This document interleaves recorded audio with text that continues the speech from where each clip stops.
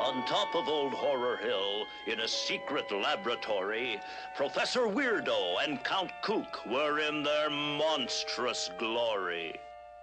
Six drops of the essence of terror, five drops of sinister sauce. When the stirring's done, may I lick the spoon?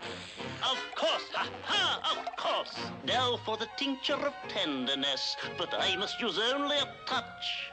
For without a touch of tenderness, it might destroy me. Oops, too much. Better hold your breath, it's starting to tick. Better hold my hand, I'm feeling sick.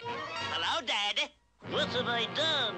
I'm Milton, your brand new son.